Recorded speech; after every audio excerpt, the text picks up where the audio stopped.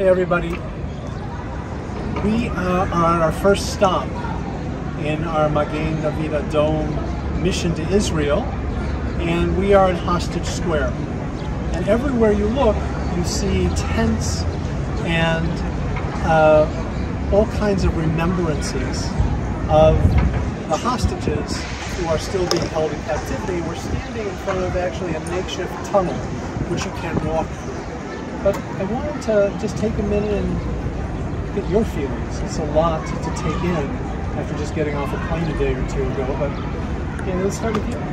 Well, first of all, it, it's really beautiful and warm out, and there are people walking around. But one of the things is most striking is as many people as there are here is how somber it is. And one of the things that struck me is that Anshe Emet in the Blum Community Hall, we have a small table set up for some of the hostages. And when you come to Hostage Square, the table that they have is long and goes almost the entire length of the square. And I don't think you realize the scope of what happened uh, and the number of people uh, until you're really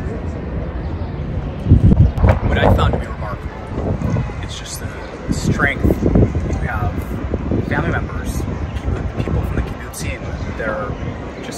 That want to talk to you, want to tell their stories, want to interact with you, um, and to basically live under these conditions for six months and still the strength to want to tell their stories. Um, it's just remarkable.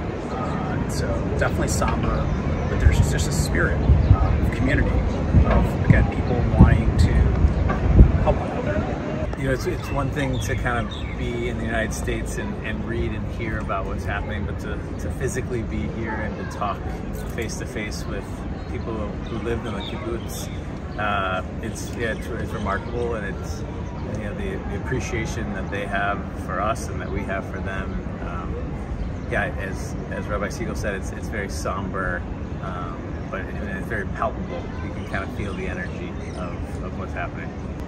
I've seen this tunnel a few times on social media, but to actually walk through it was a different experience. And I think all of us see so much happening on social media and in the news about Israel, but to actually be here is a different experience and to bear witness and to show the families and the hostage families in Israel that we care enough to come is um, been what has been on my mind this whole time.